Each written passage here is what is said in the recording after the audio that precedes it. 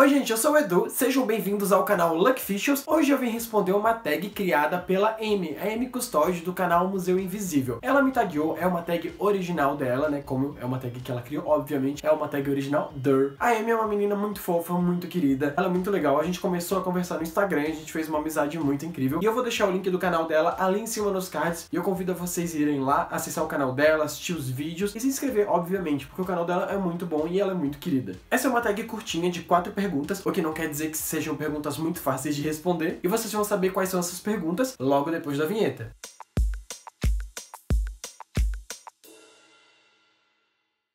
A 2019 Book Tag, ela consiste basicamente em utilizar os números do ano 2019 relacionados a perguntas e relacionados a livros. Vocês vão entender. Então, 2019 começa com 2. E a primeira pergunta pro 2 de 2019 é: o segundo livro de uma série que você pretende ler, que você vai continuar esse ano. Eu escolhi O Coroa da Meia-Noite, que é o segundo livro da série Trono de Vidro da Sarah J. Maas. Eu li o primeiro livro no ano retrasado. Eu fiquei com muita vontade de continuar porque o pessoal foi me falando que melhorava muito a série, que a série realmente ficava muito boa. E como a série é tipo líder de vendas aqui no Brasil, muita gente fala bem dela, muita gente mesmo, eu quis dar mais uma chance. Eu fiz um vídeo aqui no canal falando sobre o primeiro livro, por que, que eu não achei tudo isso como as pessoas falavam. Tá ali em cima nos cards caso você queira acessar. Mas os ganchos que a autora deixou, né, todos os mistérios que ela colocou no primeiro livro realmente instigam assim a continuar e eu tô curioso para saber o que eu vou achar desse segundo livro. E a pergunta número 2, referente ao número 0 de 2019 é: Livro nota 0, um livro que vai ficar em 2018. Você abandonou, não gostou, se decepcionou, etc.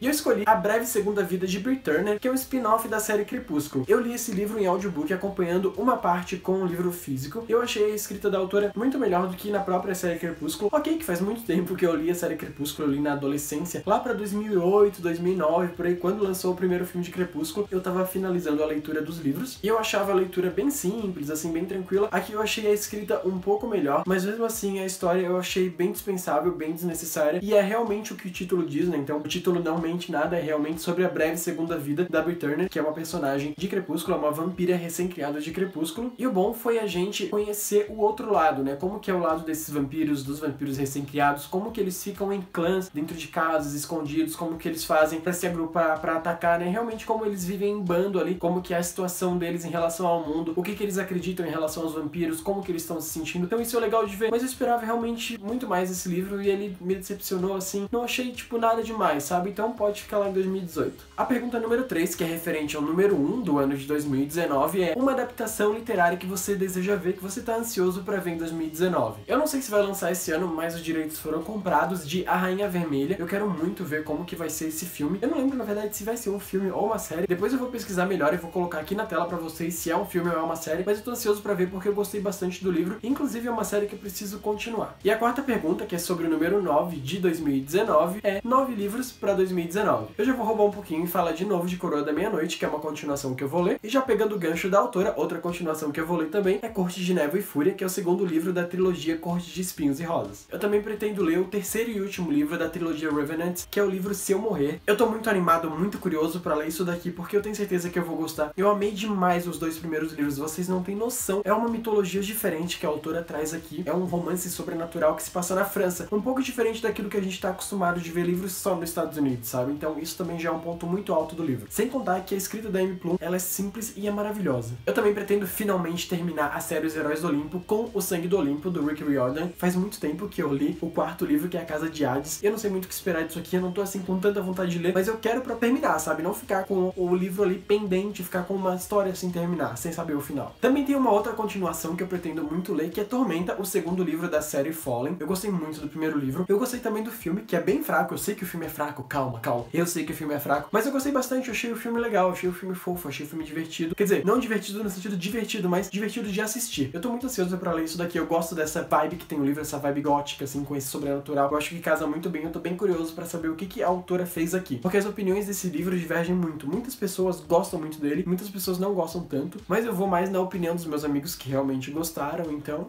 é isso aí. Esse ano é o ano das continuações das conclusões de série. Outra conclusão que eu quero fazer é a escolha. O último livro da série A Seleção. O último não, porque agora virou uma série realmente, mas quando era uma trilogia, esse era o terceiro e último livro. Inclusive, ele tá na minha tibiada maratona literária de verão, promovida pelo canal Geek Freak. E eu tô curioso para saber o que a Kara Cass vai fazer no final disso daqui. Eu gostei muito dos primeiros livros, achei eles bem simples, eles são realmente livros assim, bem adolescentes, mas eu gostei. É uma história para você sentar, ler e relaxar, sabe? Aquele livro que passa rápido, então eu tô curioso para esse desfecho. Uma outra continuação agora de um livro que eu amei, que é um dos livros favoritos da minha vida, é A Guerra que me ensinou a viver. Vocês não têm noção do quanto eu tô ansioso para ler esse livro. Eu sei que eu vou amar, eu sei que vai ser maravilhoso, apesar de que eu senti que A Guerra que salvou minha vida terminou de uma forma boa, no sentido não literal da palavra, mas de uma forma que não precisaria de continuação. Mas eu tô muito curioso para saber como que vai ser isso aqui, porque a escrita da autora é muito boa, é muito gostosa, a história é muito tocante e eu quero saber o que, que ela trouxe aqui. Mas o ano não vai ser só de continuações e de encerramentos de séries, não. Também vou começar uma série nova, que é a série Estilhaça-me. Eu tô devendo há muito tempo ler esse livro, né, Mari? Eu tenho muita curiosidade para saber como que é essa história. Eu sei que tem três livros, depois lançaram mais um, aí depois tem aqueles livros extras e tal. E acabou de passar uma mosca aqui na frente da câmera, mas tudo bem. Não sei de onde que surgiu essa mosca, porque o quarto tá todo fechado. Inclusive, tô com essa luz aqui em cima, tô morrendo de calor, tô suando um monte. Mas eu tô aqui pra fazer vídeo pra vocês, não é mesmo? Tenho muita curiosidade por essa série já há muito tempo, desde que eu comprei. Comprei ela muito antigamente. Tanto que ela é com aquela capa antiga. Isso aqui é jacket.